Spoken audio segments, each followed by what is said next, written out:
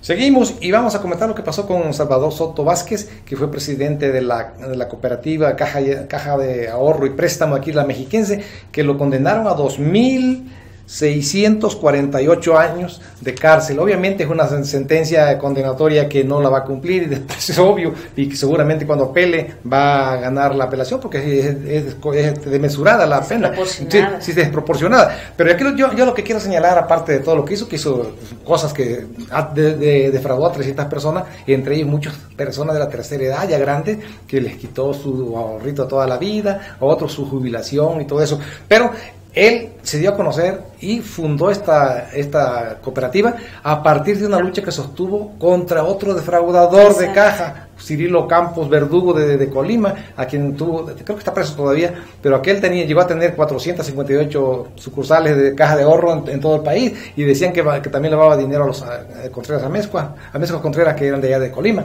Pero en este caso, él empezó luchando contra el fraude y ahora él cometió fraude. Sí, viene de exactamente de un fraude que se hizo a través, a partir de una caja de ahorro.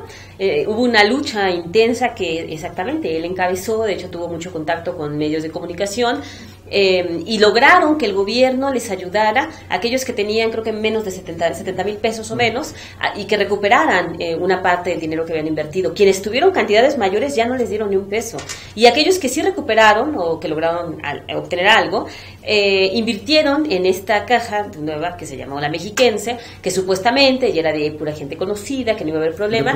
Y el colmo aquí, exacto, fue que Salvador Soto defraudó a esta gente con la que estuvo luchando, a la que conoció, que sabía perfectamente, como tú mencionas, que muchos de ellos eran personas ya grandes, que habían invertido todos sus ahorros ahí y bueno, que obviamente querían obtener un poco más. Y él los engañó señalándoles que pues de ahí iban a obtener ganancias importantes. Además, eh, es de parte de ese, bueno, más bien la, la, la, indemnización o la recuperación del dinero que, que pudiera recuperar, parte la aportó el gobierno de Estado de México en tiempo de, de, Arturo Montiel, porque hubo un, convenio de 25 gobernadores con el gobierno federal para que pues pagaran a la gente que había sido defraudada. Entonces terminó en esto y ahora pues tiene esta sentencia que... Y ese dinero que les dio el gobierno fue el que invirtieron en esta caja de la cual salieron defraudados. Es decir, después de víctima se convirtió en victimario. Sí, Salvador Soto es un personaje muy conocido y bueno, evidentemente que, digo, por la edad que tiene, 50 años de prisión sería ya una cadena perpetua simplemente, ¿no?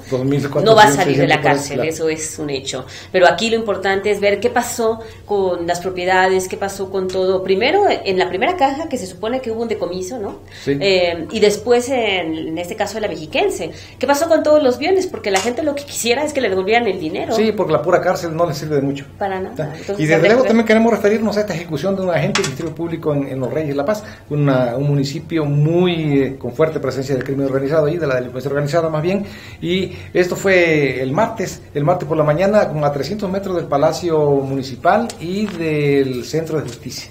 Así es, lamentable, por supuesto, un hecho eh, terrible de violencia. Y bueno, eh, evidentemente que eh, al ser un agente del Ministerio Público, pues también llama la atención, sí, federal, que por qué lo habrán hecho. Normalmente este tipo de delitos los relacionan con el crimen organizado. Habrá que ver qué dicen las autoridades, pero por supuesto que es reprobable junto con las muertes de otras personas que han estado ocurriendo estos días y que lamentablemente lo vemos, pues no deja de haber feminicidios y no deja de haber gente asesinada en esta entidad. Definitivamente. Y también nos hemos comentado un, caso de la renuncia de José Andrés de Oteiza a la presidencia del Consejo de Administración de OHL, esa empresa muy cuestionada, muy, que supuestamente infló costo de, inversión en las la autopistas que tiene el Estado de México para poder cobrar tarifas altas y también para prorrogar la, la, vigencia de su, de su concesión.